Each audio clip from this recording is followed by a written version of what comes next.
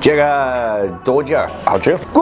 Walala. Welcome to China! Welcome to China News Service. Today, we invite Evan Kale come here to have a talk. In recent days, he's very popular on internet, so I collected some questions from the internet. People are very interested in him, so let's have a talk. 你好。大家好。 The story began with the album. How did you get the photo album? So it was sent to me. Um, I opened my business, St. Louis Park Gold and Silver, in Minnesota in 2021.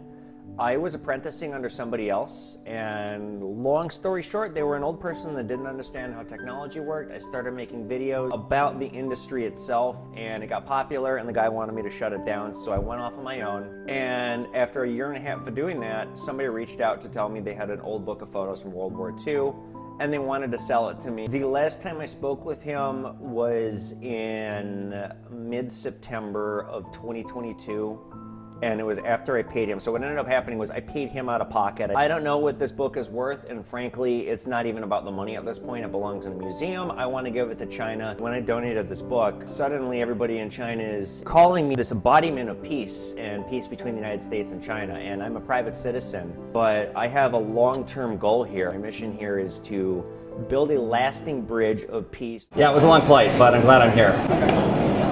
I have appreciation for old things, and I'm standing here, one of the oldest, most important historical structures on Earth, the Forbidden City. That's my favorite thing I've seen so far. It's so pretty. I mean, this whole place is a giant work of art. The colors, the painting, the decoration, the architecture. I would recommend people in the West come here and visit and check it out. They portray it in the media in the West like it's really dirty. That's totally not true at all. I went to the Great Wall. I went to the Temple of Heaven. I went to a market to see how Chinese people, you know, live. They're going out to some restaurants. We had some traditional food. Many people come to China and they go to the famous places, but you go to the fruit market. You know, I'm here to experience the culture and get to know the people better. One, I love that you can try before you buy because you can't do that in America. And and I had some really good fresh fruit. It's really expensive in Minnesota to get a dragon fruit.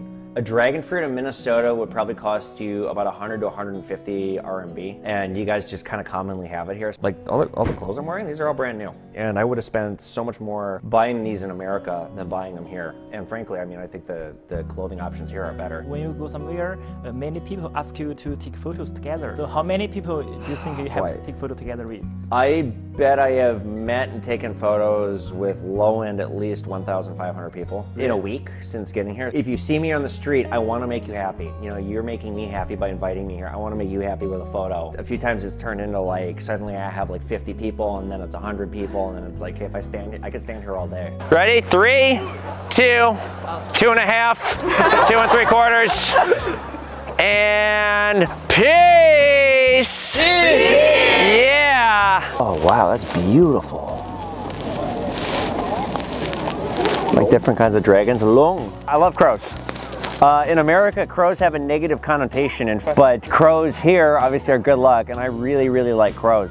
Fun fact about crows: Did you know crows recognize human faces and they hold grudges? So don't ever make a crow angry. I have finished today with the Temple of Heaven. It was one of the most beautiful structures I've ever seen in my life. I'm so privileged to have been here.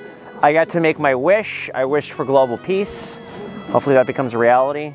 Yesterday in the car, we ordered a pizza. How do you feel about the delivery apps in China and also the delivery robots? I love them. I love them so much.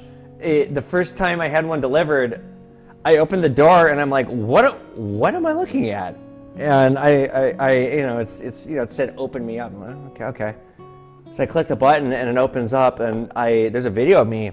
I followed it. I was like, where's this thing going? And it, I followed it out the hotel. It just blew me away. It's super cool. So far, I'm having the best trip of my life here, and this, this country has been so hospitable to me since I've arrived. It really warmed my heart. I've told my parents that they need to come with me, and I've also I told my friends. I said, you guys got to come with me on one of these trips. You guys will have a lot of fun. I'm inviting everybody else in the West, especially in America, to come here and check it out and experience this country for yourself. Not fall into the slant of the media and what they try and sell you on with how scary it is. It's not scary. I'm having a great time. You know, if you see me on the street, feel free to walk up and say hello. Uh, the kindness I've received here has been unforgettable. This is only just the start of good things to come.